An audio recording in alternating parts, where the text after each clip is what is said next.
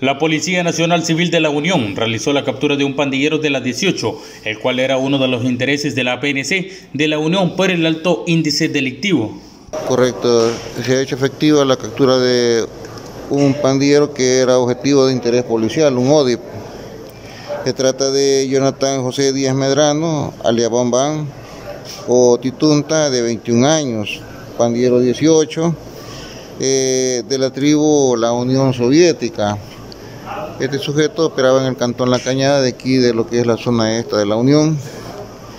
Y eh, está entre lo que es la Unión y Conchagua. Ahí operaba este sujeto. Y hoy fue capturado por el personal del Departamento de Investigaciones. Él se le imputa un delito de extorsión agravada y eh, girada por el juez de Conchagua. ¿Y cuál es el nombre del detenido? Es Jonathan José Díaz Medrano, alias Bambán o Titunta. Según el subcomisionado Martínez, el sujeto se maneja solo en zonas boscosas de los municipios de Conchagua y La Unión.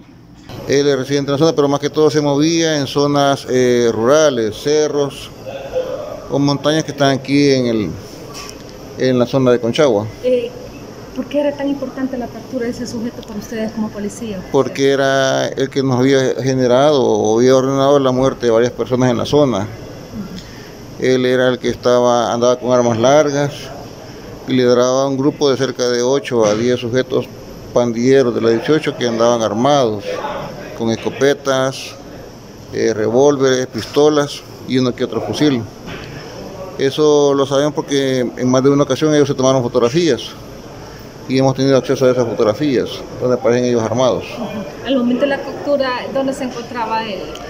Al momento de la captura el sujeto se encontraba eh, cerca, de, cerca de una vivienda, pero eh, la forma en cómo se operó eh, nos permitió eh, ingresar hasta el lugar donde él se encontraba. Está delito por delitos como resistencia, está siendo investigado por delitos como violación, privación de libertad, y esperamos que hoy cuando esté detenido por la Fiscalía nos gire las órdenes de captura que, correspondan. Este sujeto será puesto a las órdenes de los tribunales correspondientes para enfrentar el debido proceso judicial.